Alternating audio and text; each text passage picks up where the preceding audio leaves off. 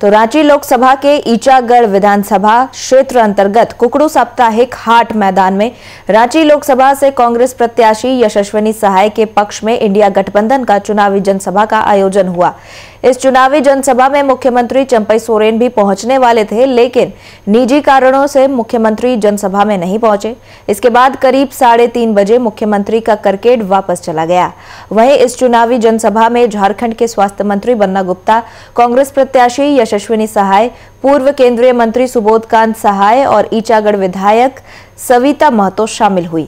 इस दौरान केंद्र के मोदी सरकार को सभी ने जमकर कोसा और केंद्र में इंडिया गठबंधन की सरकार बनाने और रांची लोकसभा से कांग्रेस प्रत्याशी यशस्विनी सहाय को चुनाव में जिताने की अपील की।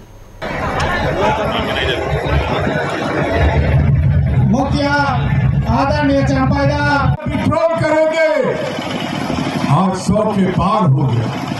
क्या गैस का दाम पाँच रुपया, दस रुपया, गैस का दाम बढ़ता था।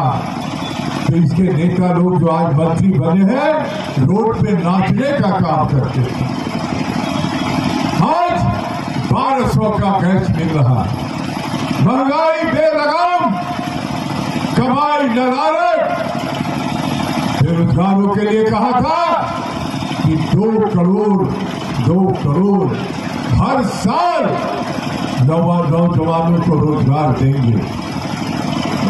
अरे मोदी जी, अगर गिनती नहीं आता है तो 10 साल राज कर लिए। 10 साल में दो करोड़ के हिसाब से 20 करोड़ लोगों को अभी चौदह लोकसभा में हम लोग मजबूती से जीतेंगे और चूँकि ये ईचागढ़ की धरती शहीद निर्मल महतो की धरती है, शहादत की धरती है।